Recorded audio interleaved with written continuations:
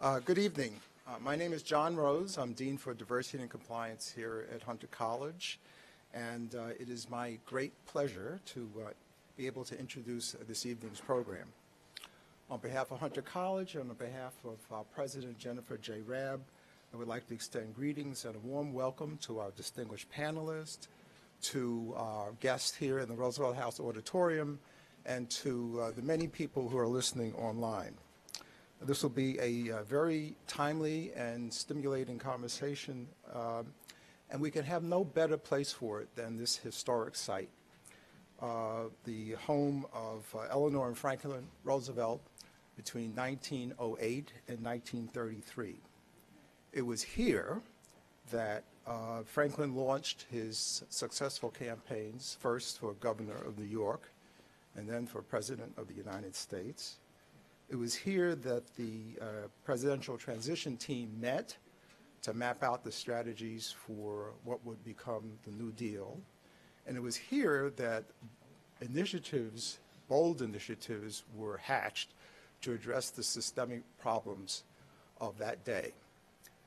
Uh, Roosevelt House has uh, undergone a significant uh, renovation uh, under President Raab and now serves as a thriving public policy institute. One of the most serious problems uh, facing our country is the tragic failure of our public schools to educate our most vulnerable populations, black and Latino children, and in particular, black and Latino young men. A very quick look at the numbers tells the story. According to the Schott Foundation report, in 2012, national graduation rates for non-Hispanic white males was 78%. For, for black males, it was 52%, and for Hispanic males, it was 58%. In New York, the non-Hispanic white male graduation rate was identical to the national rate at 78%, but the black male graduation rate was just 37%, as was the Hispanic male graduation rate, well below the disappointingly low national average. And to make matters worse, the college readiness rate in New York for black males was just 10%. W.B. Du Bois famously used the phrase talented tenth to identify blacks who, at the height of de jure Jim Crow segregation, could emerge as leaders. Though Du Bois referred to it as a floor, today's public education system seems to impose a ceiling on blacks who could emerge ready for college and ready to become leaders in the 21st century. Given demographic trends predicting that minorities will become the majority population by mid-century, the lack of college readiness for such a large percentage of our future workforce puts at risk the knowledge capital our country needs to fuel innovation, global marketplace competitiveness, and economic growth. We know from experience that students who finish high school despite their environment, not because of it, have considerable untapped potential, but we need to provide a variety of assistance to them in order to achieve it. At the City University of New York, a program known as the Black Male Initiative was launched, or BMI, was launched in 2004. While open to all students, BMI is tailored to address the needs of black and Latino young men. At Hunter, the BMI program is known as Brothers for Excellence. Our goal is to overcome some of the cultural detritus and self-limiting fears that constrain black and Latino young men.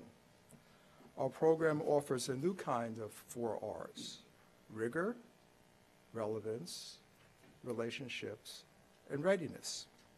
And it's based on the pioneering work of Shaun Harper, who studied and identified success factors for college-age black males.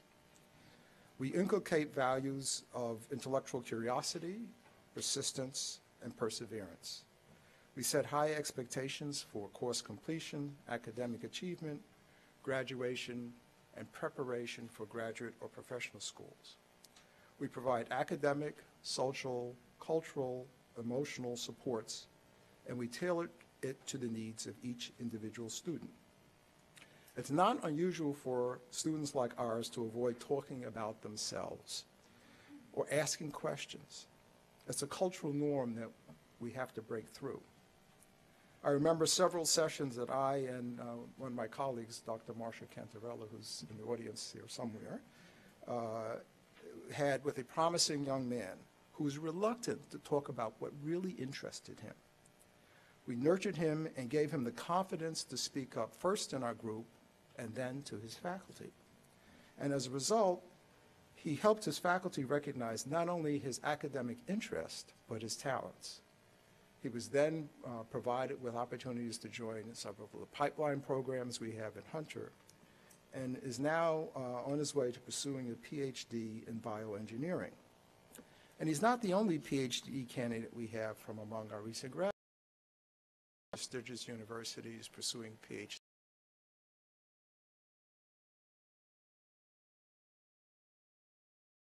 Masters or law degrees. In my view, however, given that so few black and Latino males even make it from high school to college, we cannot wait for higher education to provide the positive outcomes. These efforts must start earlier in the K through 12 environment. We need to provide safe spaces for these kids, places that can engage them intellectually, academically, emotionally, socially. We need to create college-going cultures. We need a place where they can succeed because of their environment, not despite it.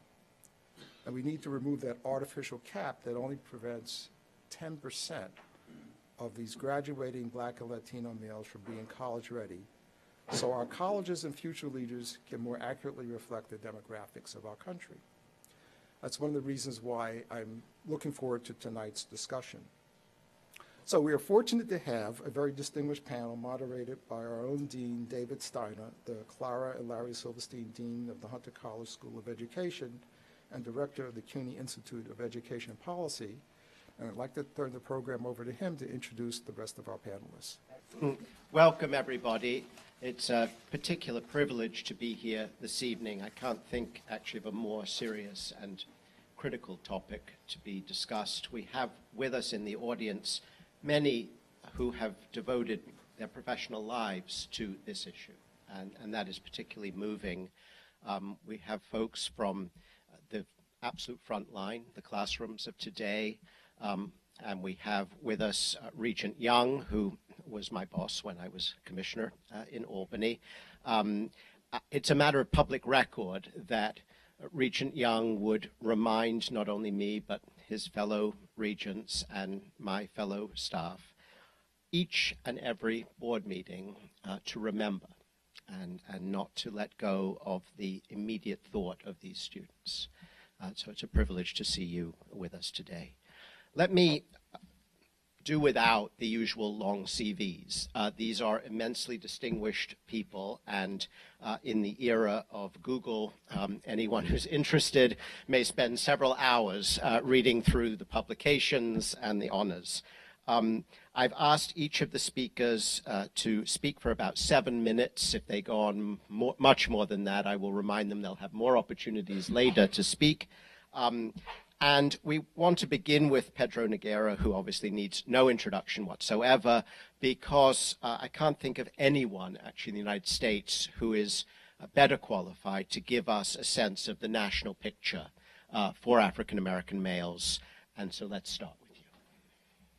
Thank you, David. And, uh, I want to thank uh, Hunter uh, for hosting us, and um, such a pleasure to be in this lovely home and to hear a little bit about its history. I'm just admiring the quote on the wall. Um, if Richard were to move his head, I'd know. I think the last one says, uh, uh, "The fourth freedom is the freedom from fear." That's right. and um, makes me think that we've been using fear as a strategy for school improvement um, for the last several years. Fear of failure, fear of having your school shut down. Um, not a great motivator for this population in particular, especially a group that has known failure in uh, many facets of life. So I want to start by posing two questions that I think we need to grapple with. The first question is, why is it that in a city like New York, where the evidence shows progress was made over the last 12 years in terms of graduation rates and other important indicators. Why so little progress for this population in particular? What was wrong? And then, secondly, I think an equally important question is what is the problem that we're trying to fix here? Right? I think there's a tendency very often in this work to confuse symptoms with causes. Right? We know, and we heard already, that African American males in particular, but in many cases Latino males as well, are overrepresented in all the categories we associate with failure in school, from special ed placements to dropout rates, et cetera, and underrepresented in those categories we associate with success. What we don't know is why. What is there about the children or these young men or the schools they're in that contributes to these patterns? How you locate or where you locate the problem will influence how you respond. If you think the problem is the young men, then you're going to try to do things to change them. However, if you think the problem is the schools they're in, you'll go in a different direction. I would say, given the fact that the reforms we pursued have not resulted in the kind of gains we would have hoped to see for this population, we need to look more closely at the schools that they're in and the kinds of reforms we followed. We've done research, and there's a, a flyer hopefully available about um, schools that uh, seven schools across the country that have been serving African American males. The question we've been asking is how they go about trying to promote resilience in these young men. Four of those schools were in New York City. Two of those schools were shut down since we started our study. What we found in those schools is that there was a deliberate effort to try to not just raise achievement, but to address the social and emotional developmental needs of young men. That is a recognition that you couldn't simply focus on academic outcomes without focusing also on what was happening in their lives.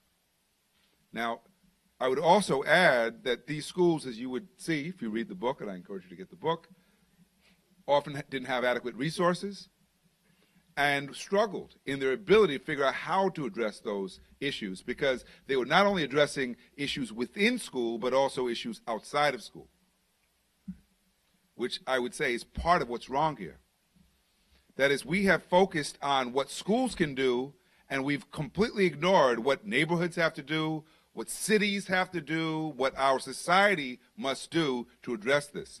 And if we think that we can solve this through school reform, we're fooling ourselves.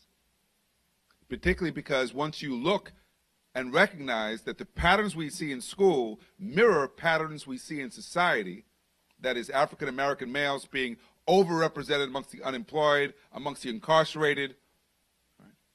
then you realize that we have a bigger problem on our hands that can't be solved simply through school reform. It's a structural problem. And by structural, what I mean is that our economy has marginalized a segment of our population that once provided manual labor, but whose labor is no longer in high demand. And unless we try to address and develop strategies to address the structural problem, the opportunity gap, I don't believe we're going to do much. And I don't believe that focusing only on schools will take us where we need to go. We need a more comprehensive strategy that situates the problem not just in schools, but in communities, in society. And we need to look at examples where we see progress being made and learn from those, which unfortunately is not what we do with respect to public policy. Did they go on? That was enough? Perfect. Thank you. You even have a minute of reserve time to be used later. Um, Shawn, uh, you've been right at the forefront of all of this work and you have been campaigning for some time uh, to raise consciousness about the problem, and you've been working to do something about it. Why don't you tell us Great. about your work? Uh, good evening, everyone. Really uh, thrilled to be here for this really important and critical conversation. And uh, just as Pedro said, you know, just it's an honor to be in this house. And um, as Dr. Rose set us up, that this is a place where big ideas are launched and new initiatives. And so there are high expectations, uh, not necessarily on the panel, but the folks in the audience, right? That um, whenever I talk about this work, uh, I lead a campaign for Black Male Achievement uh, for the Open Society Foundations, and similar to uh, what Pedro said, and this got to say, this always has been my dream to follow Pedro Noguera on an education panel, and I, so uh, thank you for that. Um, is that you know I always say that the cavalry is uh, not coming right? And when we look at the conditions of our schools across this country, particularly uh, as it relates to the outcomes for uh, black and Latino boys, uh, there is no cavalry coming to uh, save the day. And from the work that we have done with the campaign for uh, black male achievement, we have begun this with a operating principle that there is nothing wrong with black boys in America uh, that black boys in America are assets and that it is not them that need to be fixed. It is indeed the systems, uh, the structures uh, of the schools. And so, what we have seen over the last uh, uh six years that we have um, operated the campaign for black male achievement, particularly in the philanthropic sector, uh, this is an area where there was scant resources, scant conversations, uh, that you could not find two conferences like this in the same week around this, uh, around this issue. But we have uh, seen a groundswell of activity, initiatives. And one of the things that we have to be really mindful of when we look at the educational outcomes and all that we're seeing is that we can't confuse the activity with progress, right? That uh, it is great to have these uh, conversations. It's great to launch initiatives. And so we are partnered with um, the uh, New York City Department of Ed. We launched uh, in partnership with them the Expanded uh, Success Initiative. Uh, Mayor Bloomberg launched uh, the Young Men's Initiative and approached the Open Society Foundation to be a partner, and specifically around ESI. And part of the campaign's goal was to invest in education, invest in uh, preparing young men to uh, to succeed academically, to get ready for college. And one of the things that really struck us about this opportunity to partner with uh, New York City in the Expanded Success Initiative was that they shifted the narrative and the focus um, a great degree. Uh, the country had been talking about, uh, up until this point, for the most part, the graduation rates of black and Latino uh, boys. And ESI, in its focus, decided that it was going to shine a light not on graduation rates, but are boys graduating, black and Latino boys graduating college and career ready. And we looked at the data. And the data was showing that in New York City, uh, the graduation rate was hovering around 50%. But what we were seeing was that boys, uh, black and Latino boys, are graduating college ready at 18%. And so what does that mean? That means uh, when you graduate and you, if you did go to college, you had to take remediation. Uh, and remedial classes. And persistence immediately was hampered there. So it shifted the, uh, the, the conversation. And then also, what it did also, when I look around the country and the work that I do, there's a lot of exciting work that's happening. This work happening here uh, with Eagle Academy, uh, Urban Prep in Chicago, uh, Oakland Unified School District has launched the first ever district-wide department for uh, African American male achievement.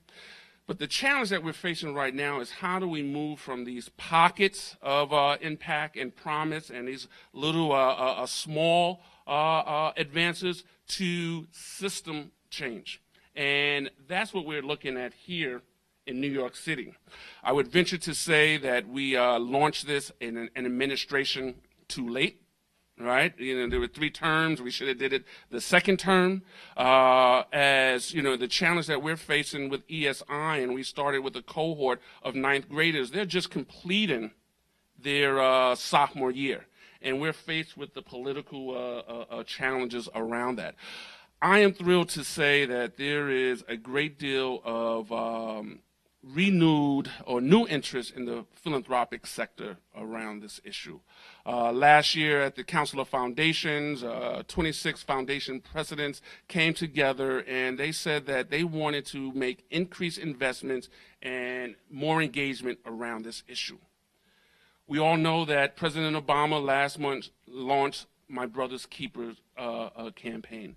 I would venture to say, with all that activity, we have to lean in on this issue, particularly on education, even harder. Uh, because some folks will say, My Brother's Keeper, the Executive Alliance of, uh, uh, of, of Executives for Philanthropic um, uh, uh, Improving Outcomes for Black Men and Boys, oh, we have this problem solved. Uh, and we are just scratching the surface. The other thing I will say about the uh, partnership with ESI, and Pedro touched on this uh, also, that um, the improved outcomes are not going to happen uh, in a vacuum. It includes a whole community approach. It includes parent organizing. It includes partnering with community-based organizations to come into the school, have relationships, and that was part of and part of the ESI Expanded Success uh, Initiative. And uh, I, I'm going to stop there, and uh, hopefully we'll get around two. Will there'll be seconds? Definitely. Okay, all Even- right. Even thirds. Okay. Um, So, uh, we're going to actually have a presentation with PowerPoint. Um, Andriana, who is working on actually analyzing this project that we've been speaking of.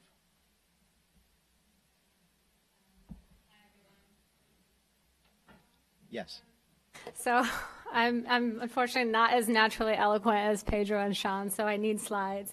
And um, I'm going to ask for a, a grace period because this presentation is about nine minutes. Uh, so I want to spend a few minutes today talking about some of our findings from the year one implementation study of the Expanded Success Initiative. Um, as the external evaluators of ESI, the Research Alliance is conducting a mixed method four-year study that spans the length of the initiative. And our evaluation really has two primary goals. The first is to ultimately assess whether or uh, to, to what degree ESI is impacting schools and students. But we're also interested in surfacing some of the best practices that schools and even districts can implement to more effectively serve young men of color. And at this point, it's a little too early to talk about impacts. As Shawn mentioned, ESI is in year two currently. Um, but I think some of our implementation findings really do start to highlight some of the successful strategies that ESI educators are implementing in their schools. The evaluation also builds off of at least part of ESI's theory of action, which is that it takes an integration of these three different areas or domains that you see here. Uh, and the, again, the theory of action is based on research that suggests that increasing academic rigor, providing ample opportunities for youth development, and creating a school culture that is geared towards college and career will increase college readiness for Black and Latino men. Um, because of this uh, orientation, we've decided to structure some of our findings to highlight changes in each of the three areas. The implementation study this year is largely focused on interview data in 38 of the 40 schools. Um, two of the schools are not included in our, our analysis, to just say, um, because they were severely affected by Hurricane Sandy at the time of our data collection. But in the remaining 38 schools, we interviewed principals, we interviewed ESI design team leader. These were individuals who were instrumental in the planning and development of ESI in their schools. We also interviewed focus groups. We did focus groups with th- uh, three ninth grade teachers in every school because, again, ESI was focused on ninth grade in year one. What we learned from talking to these educators was that uh, schools really did report changes in response to those three domain areas the academics, youth development, and school culture. They also reported changes in the area of culturally relevant education, which was not one of the three domains, but really a cross cutting um, underlying principle that has been informing the entire initiative.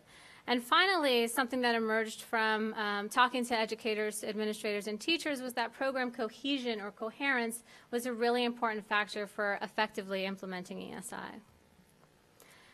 Within academics, uh, schools reported uh, changing, increasing opportunities for students to take more rigorous coursework, including AP classes and honors classes, uh, changing student programming so that students could take at least four years of math and science, and finally, in some cases, in a few cases, raising academic benchmarks or standards in, in certain courses, especially in math courses like Algebra 1 and Algebra 2. Youth development uh, teachers and principals talked about that a little bit differently. They focused less on the specific strategies around youth development and more on improved relationships in their schools, um, which they saw as an important byproduct of their youth development programming. So, more than half of the ESI schools that we visited reported improvement in, in relationships between teachers and students uh, especially in cases where teachers were becoming more adept or more in tune with serving students' social emotional needs outside of their regular classroom needs. Um, in addition, they also reported changes or improvements in relationships between students, in particular because a lot of the schools were implementing these single sex advisory classes. Uh, these were groups of 10 to 15 students who would meet regularly once or twice a week. And also um, because of peer mentoring, which was a big piece of what a lot of ESI schools were doing, where 11th and 12th graders were mentor, would mentor 9th and 10th grade boys. Finally, in the college and career culture um, domain, most, a majority of the schools were improving or expanding on college programming. Um, but beyond the program, we also heard a real shift from um, focusing on high school graduation, as, as Shawn mentioned earlier, to focusing on college, to explicitly focusing on college. Secondly, teachers and administrators um, also talked about communicating the steps to get to college to ninth grade students very early on in the, their high school career, noting that by the time they got to junior year, sometimes it was too late to make up course credit or make up regents um, to actually get into college and thrive there. And finally, while a majority of these schools were already providing a lot of college supports to 11th and 12th grade students, um, because of ESI, they reported now providing those same college supports, college trips, college workshops, to, particularly to the 9th grade students, and this year to 10th grade students. Uh, as a part of ESI, schools had ample opportunities to participate in training around culturally relevant education. Um, according to Gloria Ladson-Billings, uh, culture relevant education is, quote, a framework that recognizes the importance of including students' cultural references in all aspects of learning. Um, and as a result of some of this training, the schools that participated really reported both a change in teacher mindsets and beliefs around instruction and, uh, and uh, about their students, and also a change in practice. Um, so, first, teachers talked about having a deeper awareness about the unique and specific challenges facing Black and Latino young men, um, uh, including the structural inequalities that Pedro mentioned before, the inequalities that they might face outside of the school building, and also some of the biases that they might face even from their own teachers within their buildings. Um, and also, in, in response to the CRE training, some schools were adopting or adapting new practices um, such as the single sex advisory classes that I had mentioned earlier. Um, and also just providing students a lot of opportunity to talk through issues that were relevant to their, uh, to their lives, things like stop and frisk, or in one school um, that I remember, uh, just the experience of being black and Latino in their school with a predominantly white staff. So these were some of the opportunities that they got to talk about in their schools. And finally, as you see the, the image there, um, trying to bring all of these pieces together, not only the three domains, but also the culturally relevant piece. Um, schools reported that cohesion was really important, really integrating all of these different pieces so that they work together and not just as different silos. Um, I should say this, the level of cohesion really ranged from school to school. Some schools really treated ESI as an add-on program. Other schools had really done a lot to infuse ESI into their culture and mission of the school. Um, and the ways that they did that were uh, some of the things that you see here, creating connections between different ESI programs, even if they had five or six different programs, really trying to understand what, what brought them together, um, creating connections between ESI and other existing programs that had already existed in their school.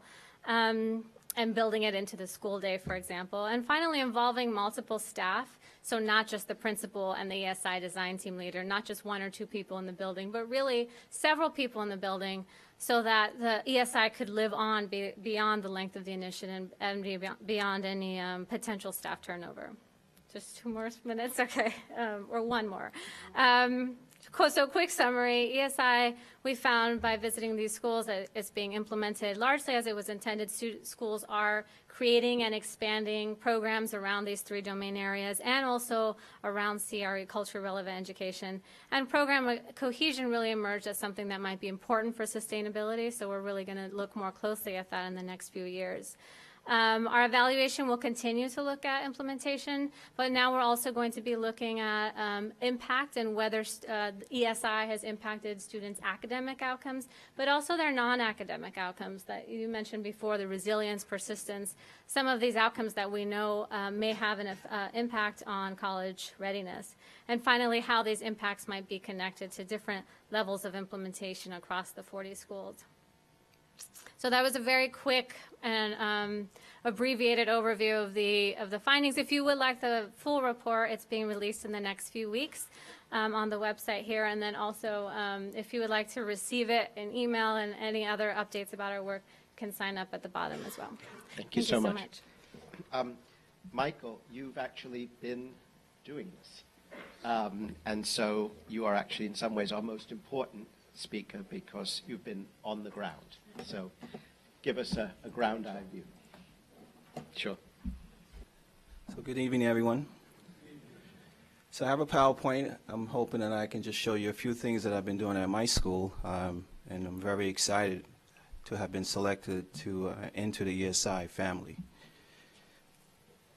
I first like to say uh, thank you to um, CUNY Institute for Education Policy for hosting this event and my fellow panelists. Thank you. So just to give you some brief, brief uh, background information about my student population, we have 518 students. Um, of males, 314, 220 are black males, 79 are Latino, and other males are 16. So the question was, what has been difficult about integrating ESI into the school culture? Um, as you know, ESI has three tenets, academics, youth development, and school culture. Um, as you see, there's several items that are listed that has been a challenge. But one that stands out to me, the, well, a few of them that stands out to me the most. Um, and I would say for academics is, is habits of mind. There's something that we, we speak about all the time, principals and myself, about the productive struggle. Um, and that's something that's just challenging. It doesn't matter the amount of money kids have to put forth effort. And that's something that we're working on each and every day um, in terms of the productive struggle. For example, um, if students who are in physics, you know, even with their innate ability, if they don't put forth effort, they're not going to do well. However, there's other students who we want to get to physics and they don't want to go to physics because they know the math is challenging, right? So we have to help them with strategies. We have to give them resources and show them how it's possible to get to physics and get through physics and take trigonometry in the 10th grade. Um, so productive struggle is something that principals, myself, and others, my whole school community are always talking about. Um, so that's one of the challenges. For youth development, again, you see a lot of them listed. Um, but I would say for me, it's um, restorative justice, which we have in my school. And I, not the fact that kids have um, infractions and they, they have um, situations that they have to be held accountable for, but more importantly, why, why they have those infractions and what happens in a youth court and for those of you who do not know, Youth Court is a, is a, um, a program at my school and across the city where students are uh, judging each other in terms of peers um, for a Youth Court program. Um, and basically what happens in this, this program is when they're sitting in the Youth Court and they open up, there's a lot of things that students express. Um, they could say that, you know, I'm living in a shelter, I'm upset. They could say that, you know, Mr. Prayor, I'm, you know, you, you don't know that my lights would turn out and I had to do my, my homework. with no lights. I'm, I'm looking, I'm using the moonlight to actually do my homework. There's a lot of stories our kids open up. They don't, they don't tell us immediately. We have to find these things out. But basically, when they open up, one of the challenges is really making sure that I can give them more support, more mentoring. Because when they open up, we just don't want them to open up and leave them there. We want to help them, right? So there's a lot of challenges with that. Um, and these things happen daily. For school culture, I would say again, self-efficacy among our black and Latino males is an ongoing problem. Um, and it's not that, you know, our kids come in, there's, there's, we're going to have honor kids, honest kids that come in and they have the effort. Then you're going to have another group that feel like, you know, if they don't want to do their homework or they do, do not want to um, persist with trigonometry in the 10th grade. And the question is why? Why do they feel like this? Why do they run away? And it's really because of failure, all right? They, they're afraid, afraid of failure. So we try to take that away. We try to give them the skills and strategies to persist through failure.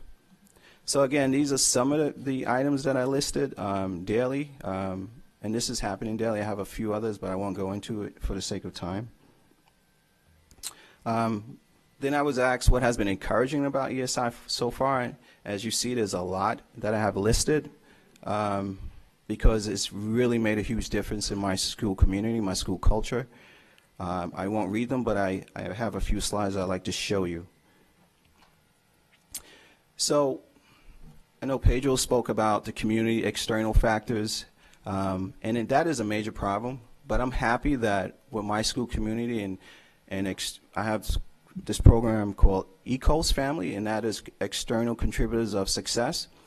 And basically, you see a list of uh, contributors to my school who's really been helping me out, um, really helping me out, really making my, really becoming a part of my school community.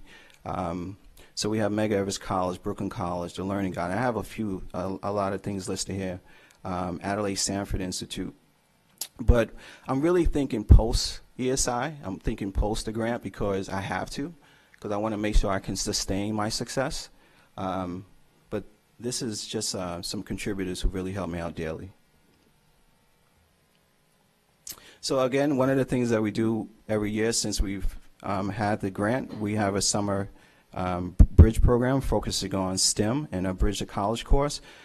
And basically, our incoming ninth grade scholars are exposed to our school unique and enriching learning environment they learn how to support each other as they transition from middle to high school and explore college and career through a series of activities and opportunities.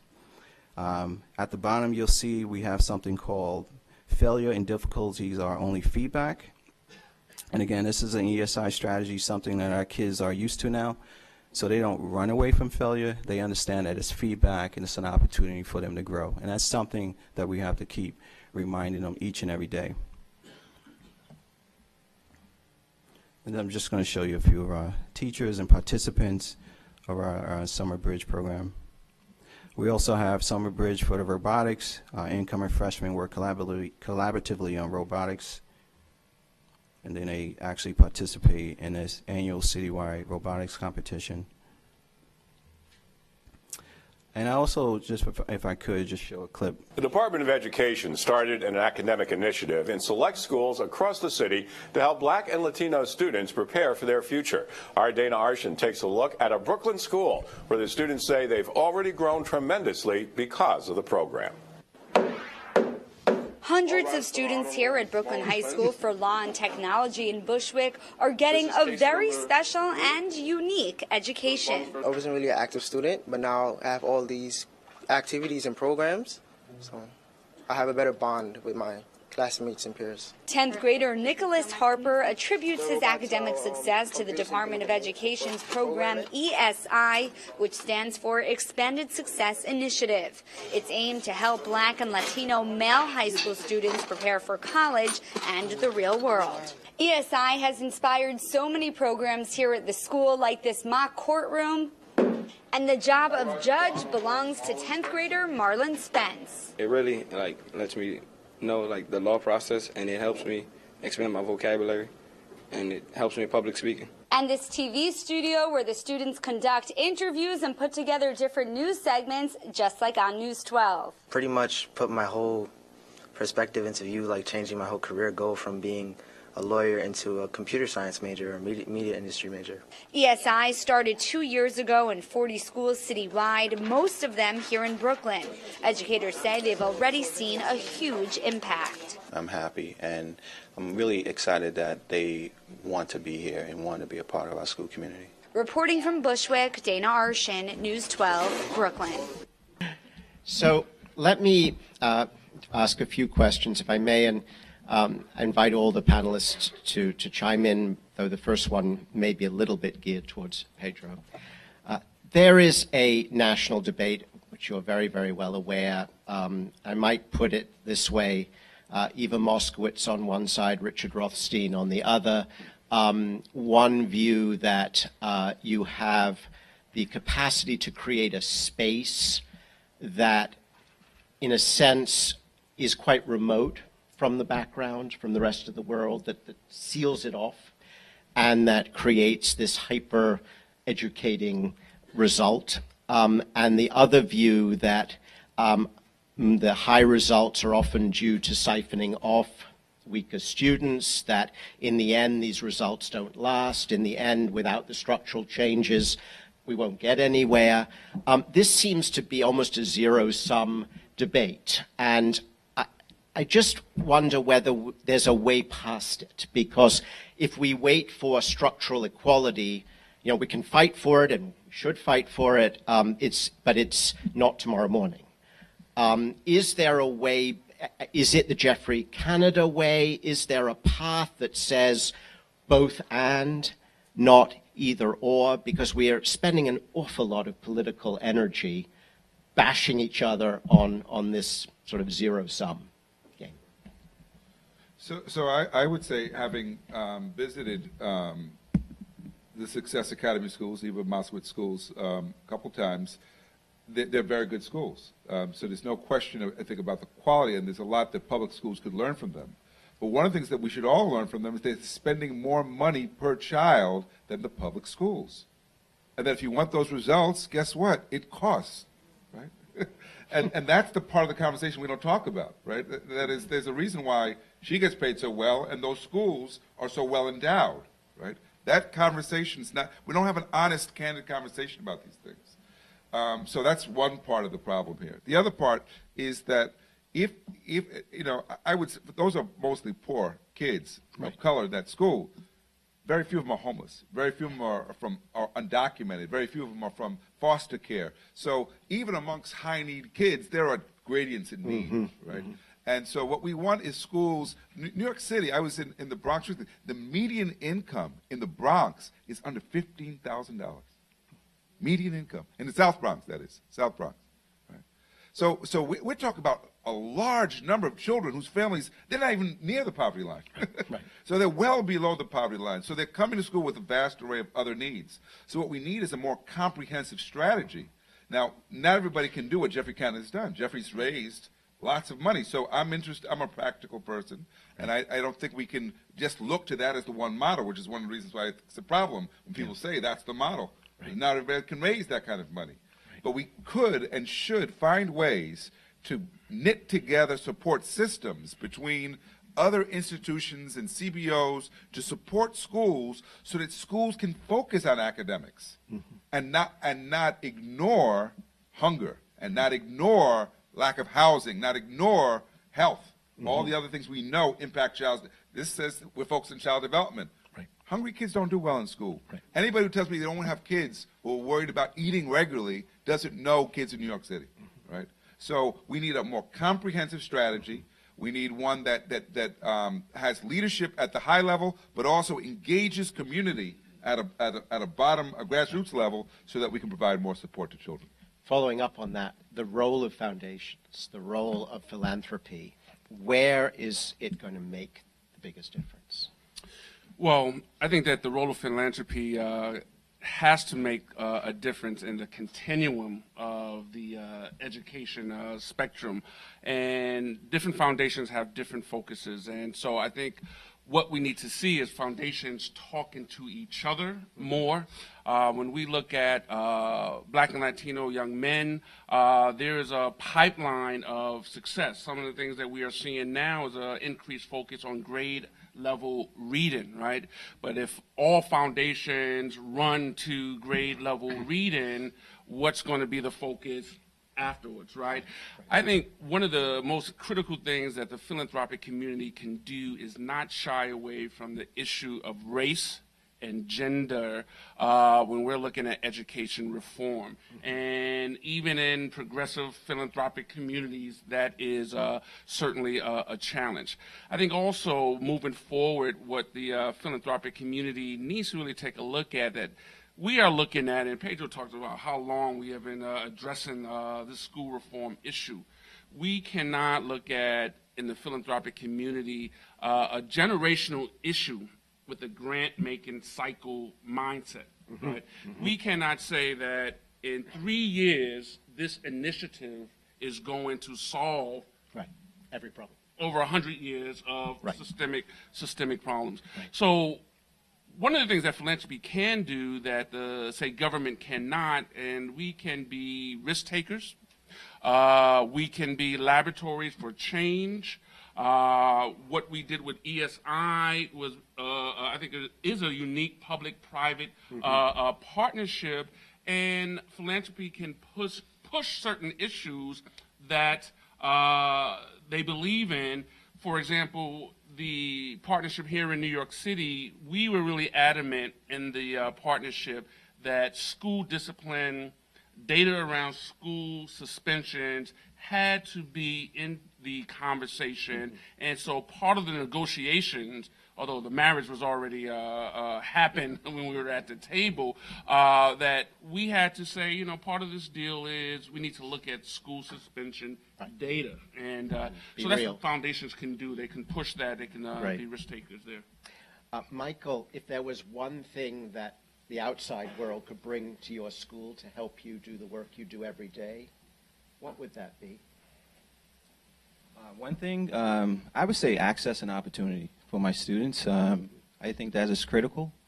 Um, I think that our students right now are actually um, taking advantage of access and opportunity due to the ECOS family I, I created, but more is needed. Um, certainly um, internships, internships, um, more. Uh, I would say definitely more programs for college. Certainly, when you look at College Board, is another one I think is needed for across the board.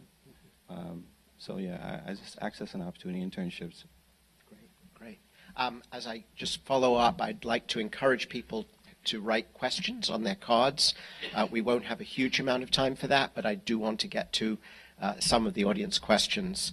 Um, let me pose just one more question from, from here. There is a large debate, again, um, these are all large debates, about the role of family and family culture um, and uh, one thinks of Orlando Patterson, Rituals in Blood. One thinks of other texts. Um, is the is what you're seeing on the ground responsive to those academic treatments? In other words, uh, is the behavior at home a major contributor to the issues that we're dealing with at school? And is it changing? Are you seeing changing patterns of parenting um, in these communities? Sure, when you start. So um, I, I, would say that you know with this big question, this uh, idea that you know there's a culture of poverty that contributes to the cycle of poverty, and um, you know one of the critiques of that is that it it completely overlooks economic status, right? That is that you know you know I'll give you one small example. Uh, William Julius Wilson points to data showing, the sociologist this is, uh, showing that African American males, eight times more likely to not support children out of wedlock unless you control for whether or not they have a job. Then it's equal. Wow, that's amazing, huh? and that's important information. Right? Certainly is. Right. That, so, so I would say what we have to be careful about. I mean, it's uh, this is why I say a schools alone strategy is too limited, right? That is that there are many families struggling to get by. Anybody who didn't read the series about the girl in the homeless shelter, Dasani, That's good. um, that came out, um, I think around Christmas time, um, and understand the struggles families are going through. This, there are a third of the people right now in shelters in New York City work, have jobs, and are still in shelters because they can't afford a place to live. So there are many families right on the margins. And, and for those families, they're making tough choices all the time. Now, does that mean they don't sometimes contribute to their child's problems? Of course. I think they do. But I think that um, if we don't address this again um, more thoughtfully than we've seen, um, what we're going to see, the, the tendency to blame the poor for being poor is always there because that's deep in our puritanical culture, right? And, and what we've got to get away to, you know, I, I'm on the board of a group called Year Up, right? Year Up, their whole mission is closing the opportunity divide. And it's amazing to see the young people with just a GED after six months of training, going to jobs making $50,000 a year, right? Talk about a transformation in a person's life when they're able to, to get those kinds of opportunities. That's what we need to focus on. How do we, we live in a rich city. We're not, we are not Newark, okay? We're New York City. Those hedge funds that are given to Eva Moskowitz, they need to spread it around a little more, right? And, and make sure that other people have a chance, not for a handout, but for jobs that can really lead to a change in circumstance. Thank you. Well, what I would add to that um, is that you know I had an opportunity here in New York City to be part of the Beacon School movement, and Beacon schools uh, are based on the premise that it takes an entire community and there needs to be a holistic approach, and that educators alone in the school building uh, are not enough and it takes a whole family approach. And I think that that is a concept that needs to uh, be expanded to all schools. That using the school building, partnering with community-based organizations, and opening up the school weekends, evenings, and having the school a place for parents that may need support, job training, uh, uh, support. Because when Pedro provides a uh, a data point that the median income in the South Bronx is 15,000, uh, we can't blame parents for uh, issues and conditions that uh, their children are facing. They need these jobs. And so I think the key point is that this is a real systemic issue beyond education. And if we just talk about education in a vacuum, uh, I think we're going to be short, you know, we continue to shortchange ourselves. From the audience, uh, absolutely fair point that this particular initiative is in high schools that had some prior success, some really serious investment in some of these strategies, and it is accelerating that success in, in powerful ways. But a question really for you and what you were seeing, do you think that this can translate into schools that in a sense are starting right at the baseline? Um, or do we already have to have a certain progress? Wow, everyone's asking a question. Good. Uh, we we started to answer that question actually in our baseline report, which might be in your folder. I'm not sure, but it's definitely on our website. Um, by comparing these 40 high schools to the other other city schools, and yes, they do they did have to serve um, at least 70% of their population had to be Black and Latino. Um, they also had to have 65% of their population uh, be quali- qualified for free or reduced price lunch. Um, so in those ways, they are very similar to um, other city schools. They also have a very similar students in terms of um, special education, in terms of, and Sarah, my colleague here, can probably speak to this more, but um, and in terms of uh, overaged population. So, in essence, they do serve a lot of the same students. In fact, two of the schools are dual language schools, so they also serve newcomer schools as well. I mean, I think we, we have a lot to see about whether this can be replicated in other schools, but I think at least in terms of student demographics, it's, it's pretty promising. Great. Uh, a question that strikes rather close to, to this home, which is Are you getting the teachers that you need to really use these strategies effectively? When you hire a new teacher, are they prepared to do the work you need them to do?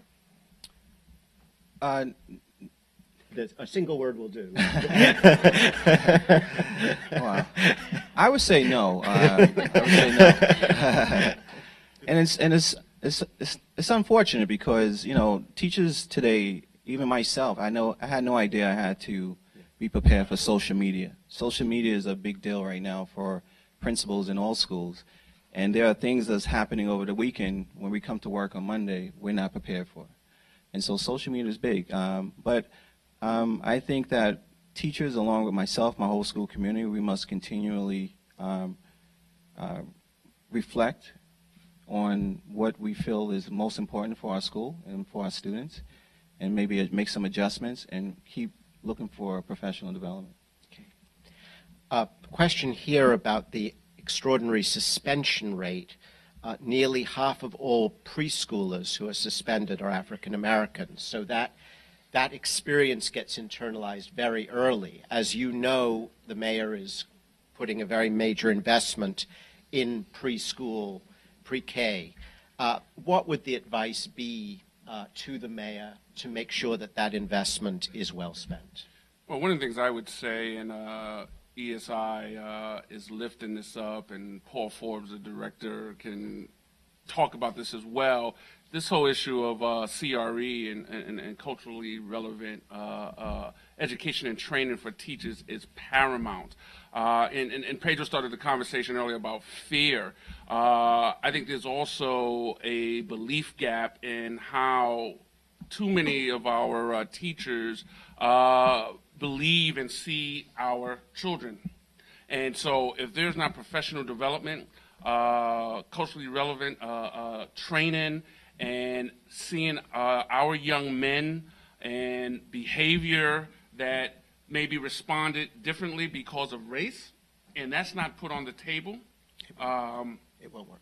It, it won't.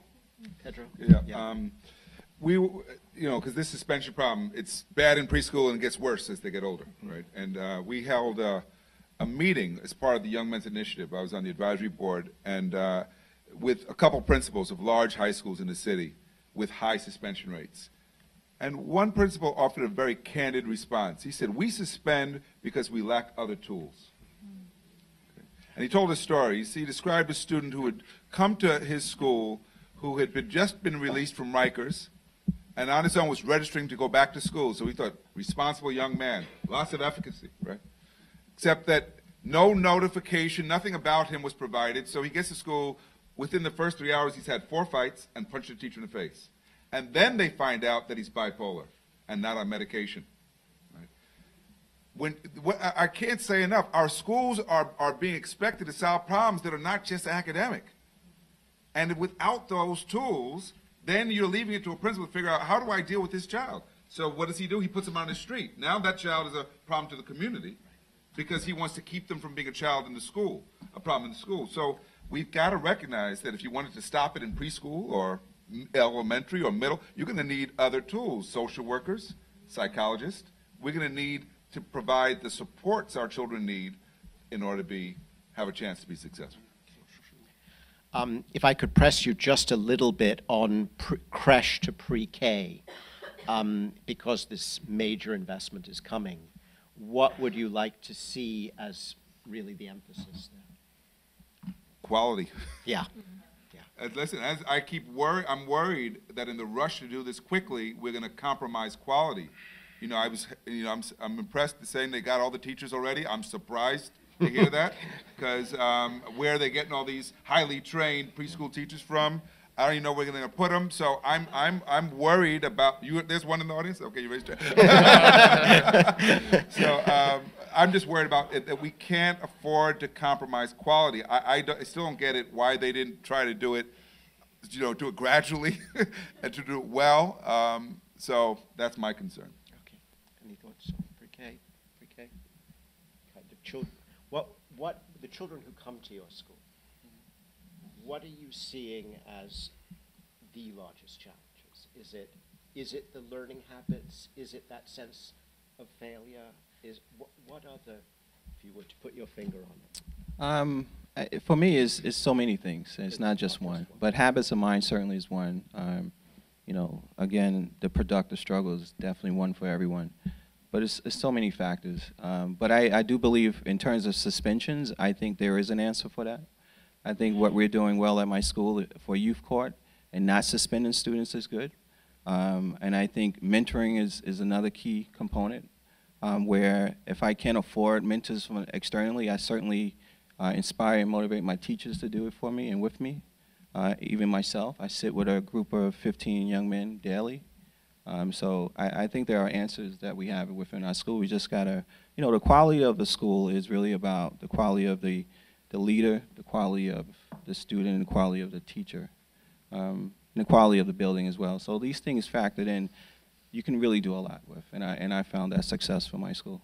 And I would just also add the quality of partnerships. Yeah, and quality of partnerships as well. Many of the uh, ESI schools, and schools around the country that are employing uh, restorative justice uh, practices, um, are partnering with community-based organizations that that's what they do, and they are in the school building and facilitating uh, that process to uh, for an alternative to suspension. Yeah. Question here about the police. Um, are they involved in the ESI initiative? Um, what of their presence in the schools? What's the impact? Talk to us a little bit about about that. Anyone? Do you do you have police in in the program? Uh, no, no. Other than actually, I do actually, but only for internships. That's what they provide. So I would imagine that some of the uh, ESI schools, I'm looking at a DOE, uh, I'm looking at the folks, uh, Paul and Vonda, you know, I'm going to throw you the mic and you can uh, answer on part of the DOE that uh, in many of the New York City schools, there are actually police uh, in, in the schools, right? And so I would imagine that some of the ESI schools that uh, exist. And I would imagine that uh, from school to school, that type of relationship uh, varies. And um, we know that, uh, and there was an effort, and I don't know how far along we are to provide school uh, safety officials uh, with advanced training and extended training uh, to uh, become more of the solution than the problem at the front door. There, yeah, there is a school that I visited that does have um, a partnership with the police academy, and I, on top of the internships and career development, but also uh, ESI is really designed to be a whole school building reform model. So it shouldn't just, uh, ideally, it shouldn't just include teachers and principals, but also security staff and other members of the school community. And there's actually a follow-up question, which is what kind of training and support was involved in this project? Because that's always a question for replication. Yeah, I really do wish I could give Paul the mic here. Um, uh, so, school ESI schools actually meet regularly. Principals meet, uh, and the ESI design team leaders meet. The ESI team at DOE provides them um, lots of opportunities, and schools can't take advantage of everything. But there are so many professional development, not only um, related to culturally relevant education, but also things like habits of mind or working with specific partners. Anytime there's an opportunity um, to take students to events outside of the school building, that's also a, a piece of um, of what they provide schools and students. Good. Okay.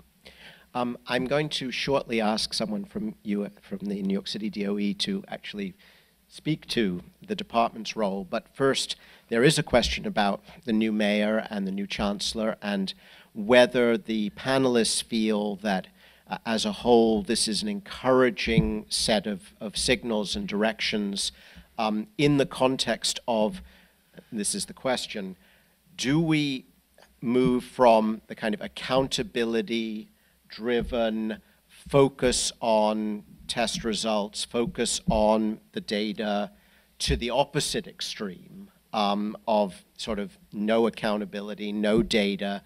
Or can we take the best of what was done in the decade that's just passed and add onto it a sense of the aspects that you started to speak to, Pedro?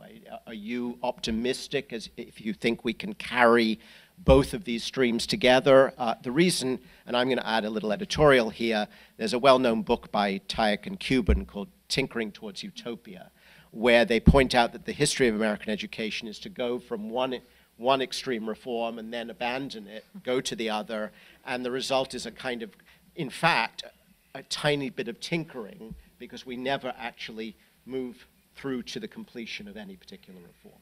As you look at where we are, can we take the best of what we've done and add to it? Well, I, I would hope so. I mean, I, I think that some of the things that, I think many of the new schools, for example, created over the last 12 years are, are clearly better than the schools that were there before. So there were things that happened under the last 12 years that, that were making progress. Um, I'm a little concerned so far that I haven't heard um, the chancellor or the mayor lay out a vision for what they're going to do. Um, now, I do hear things that give me a reason to be encouraged and optimistic. Um, I, it was very telling. Um, a- a- many of you are familiar with this uh, scandal at the school in Far Rockaway, the school of no, right, or the principal of no, and and and um, and the, the, the ways in which kids would be denied basic learning opportunities. And the chancellor sent a representative out there, and they asked her what she thought. She said, "The school has problems, but it also has assets," mm-hmm. and that was a very telling comment, right? Mm-hmm. Because what you want to do is build on assets, not just condemn a school, which is what we saw over the last 12 years. Mayor Bloomberg shut down 150 or so schools in New York City. They didn't have a plan for helping schools. I hope that this administration will have a plan for building capacity in schools and, even more importantly, giving schools a chance to learn from each other, including the charter schools. We frame this as a competition among schools when we should be collaborating and sharing to do this work better than we do now. So let's hope, I hope the mayor is listening out there. do something good. Maybe she's, this chancellor is watching. Um, Last question from the audience, uh, and this sort of goes to the foundation of everything we've been saying. If, Pedro, you're right that without the fundamental structural reforms, um, things look pretty bleak. What do we say to the thousands of teachers and principals who each day are trying to make a difference for these students? After all, it's not just the students, right? It's the teachers who are giving their lives to this work. And when they hear you, um, they could be forgiven, could they not, for saying, you know, am I not really making a difference? Um, because if we wait until that $15,000 income becomes a $40,000 income, my kids will be lost.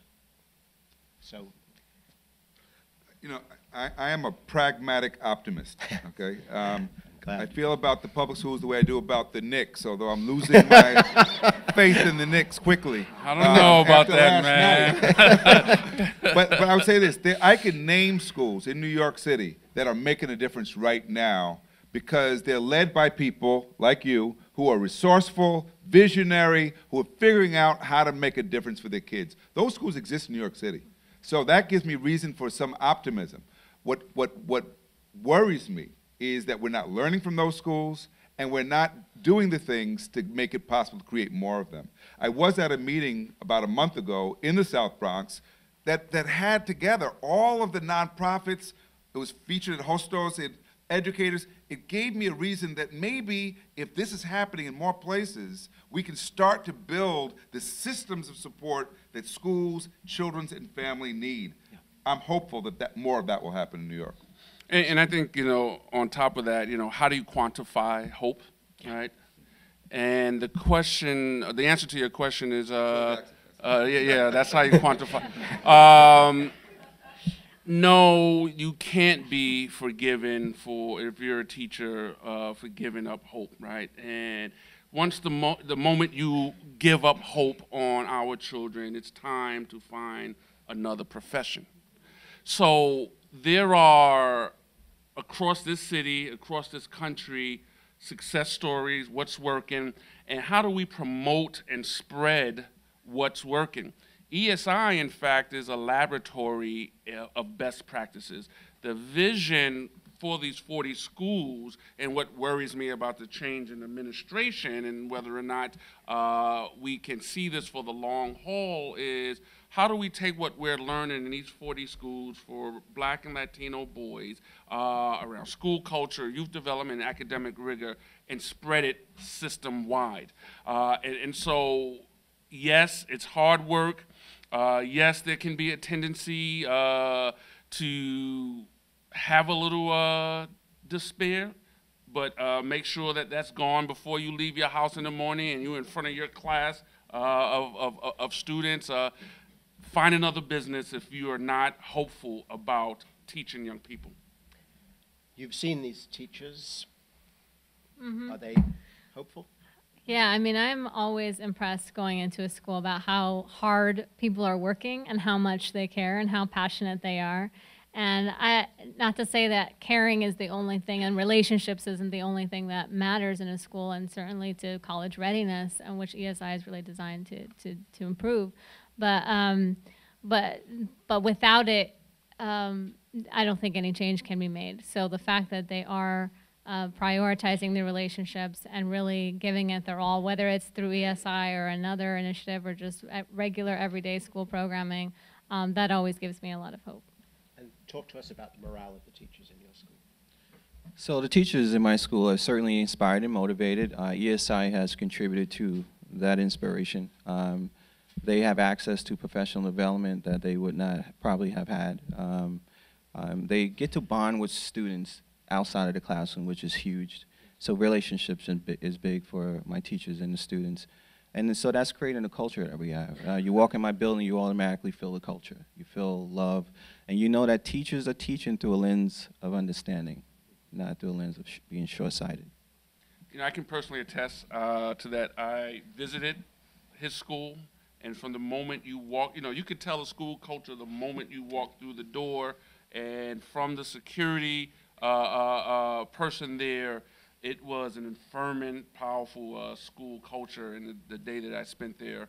Uh, so I, I- I can attest firsthand. Well, at the schools of education, we have obviously a lot to learn uh, to help to create, and, and Deborah Shanley is here, the Dean of the School of Education of Brooklyn, to create the kind of, of listening environment where we're not talking past each other, and then working with teachers beyond their graduation. So we have a part to play here as well, um, and it's also our responsibility. So no, no outs, uh, and nothing easy, clearly, on the basis of, of this evening's conversation, everything we know about the situation. Uh, I want to thank all of the panelists. I want to thank the audience. This is the beginning of a conversation. We will be revisiting this theme constantly at this institute because, again, one can't think of anything more important. Um, we will be open to working. And now, as a closing remark, I want to invite uh, a representative from New York City DOE. We've been talking a lot about the department. It is only fair that Vanda gets a chance to say a few words from the department. Thank you, everyone, for uh, inviting us here this evening. My name is Vonda Belusig-Voller, and I'm the Executive Director of the Office of Post-Secondary Readiness at the New York City Department of Education. Um, First, I'd like to thank David Steiner and his team for opening up this engaging and important dialogue. Uh, I am completely humbled and honored that the work of our schools is part of a conversation with leaders like Pedro Noguera and Shawn Dove, and to Michael Prayor, who represents the best of our principals, I thank you deeply. Um, and Andriana continues to push us and teach us and remind us of the things the work is far from done. Tonight's dialogue is both enlightening and sobering for me. It provides some concrete reference points for ways to reverse negative stereotypes that have plagued our black and Latino boys for way too many decades. As many of you know listening here tonight, um, the challenges are deep. You've heard these numbers before. In 2012, only 17% of our black boys and 22% of our Latino young males graduated with a New York City high school diploma that meant they were college and career ready as defined by New York State. Those numbers mean a lot of things to a lot of people, but let me tell you what they mean to me. It means that far too many young people wake up on far too many mornings and do exactly what we tell them. They get up, they make their way to school despite the challenges around them. They attend class, they go to class, they study hard, they do what we tell them. And in essence, they think, we, in essence, we've sold them a bill of goods. They work hard and they work harder to reach benchmarks that mean that they have a high school diploma. And still, they are at risk for dreams deferred. And that's simply unacceptable to me. What this signals for us in New York City and as a district is that, um, to paraphrase Jeff Canada, I do it all the time, I do Pedro too, but maybe I won't do that tonight. Um, if we want dramatically different outcomes, we need to start doing things dramatically different. So, we've decided with ESI, things could not be business as usual. We had to push ourselves, our partners, and our schools towards new solutions because business as usual is not working. The intricacies of these school challenges are compounded and exasperated by societal inequities related to ra- race and economic class. And from the inception of the Expanded Success Initiative, we knew that our solution for changing the statistics would mean that we could not be unwitting participants in the hopeless deficit narrative that has been undermining the talents of these students for decades. So we decided we were going to change that narrative first by taking an anti-deficit approach. And you heard Shaun Harper's name. If you have not read his ESI report, um, you should. Um, we knew that to change the narrative, we had to think about communities in sustainable ways, and it was our responsibility to start with schools at the focus of change. Super excited to hear folks talk about schools learning from each other, from growing with each other, because from our inception of ESI, we invited schools to a design challenge. They were indeed schools who by, I don't know what standards, we call them doing better. Um, and by that, they had the same populations that Michael School represents. However, they were already graduating black and Latino boys with more high school diplomas than their counterparts. We did that purposefully because this initiative is about college and career readiness. A high school diploma is not good enough for any kid in this city. Um, we invited them to work together, to think together, to work with each other, to learn from experts, and to design a plan where it could be a sustainable plan, plan in a school community. What was important to us was that this initiative did not end when the uh, generosity of Open Society Foundations disappeared. And so we believe and still believe that the closest to those closest to the students can help impact and change their lives. And we knew that they would be the ones who would help us find solutions that would change the lives of our black Latino boys, our girls, and could influence the country. Michael Prayor and his work in his school is testament to that. We knew we needed to invest in schools, provide them with different resources, find multiple avenues for support, and allow them the flexibility to experiment, to think about how to refine programmatic structures, and in essence, to fail up, to understand that a good idea is not worth throwing away just because it didn't work the first time. This is why the Expanded Succession Initiative is not and was never intended to be just an arbitrary selection of practices that Central bestowed on schools.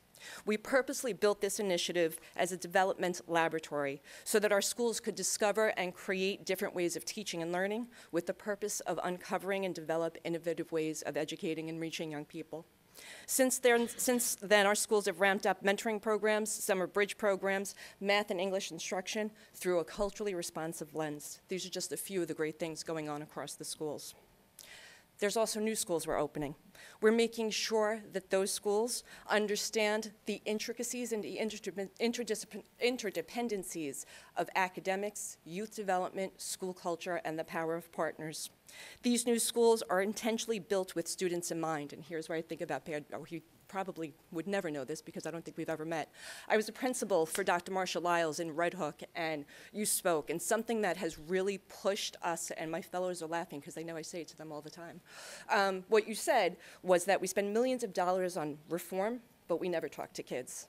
And so our ESI fellows run a student fellowship and our new schools are being driven not just by the brilliant ideas of the adults in the building who need to hear how smart they are, I'm one of them, um, but also from students in the 40 schools helping us understand how school can and should look different. Um, tonight's dialogue is a step in surfacing the ideas and practices that can and will be replicated through our system. But we're not done. It's just a small step in a journey driven by continued innovation, ongoing research, continued iterations of good ideas. I'm grateful for the work of the Research Alliance and the team. They provide us with the, what enhances and sometimes challenges our work. Um, our own ESI team, Paul said it to me the other day, that we continue to learn from our ESI schools and the research, and as a result, the work gets stronger. The work of the ESI 40 informs not only our perspective, but also our fellows.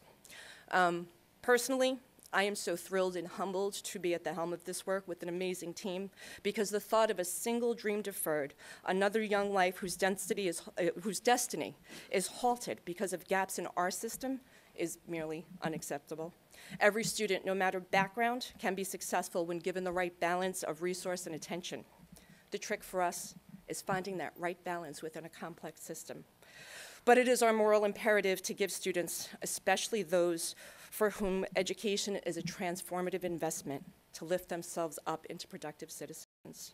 Our collective success should be celebrated tonight, but also never forget that every victory has meaning only in the context of developing the capacity across this city. And our educators understand that and will work with us to get there. This is, well, you know our theory of action.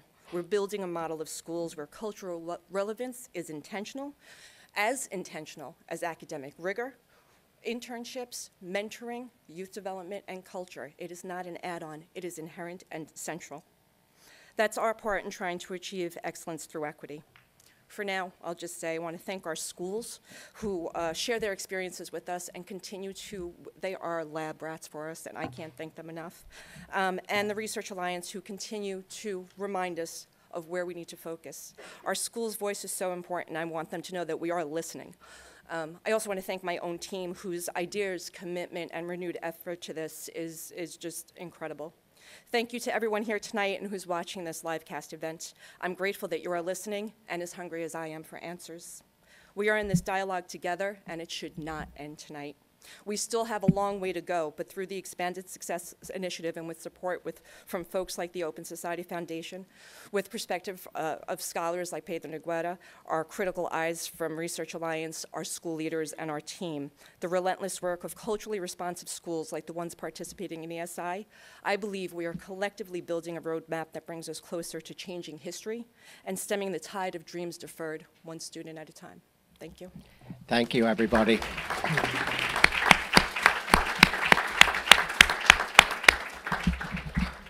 Thank you all.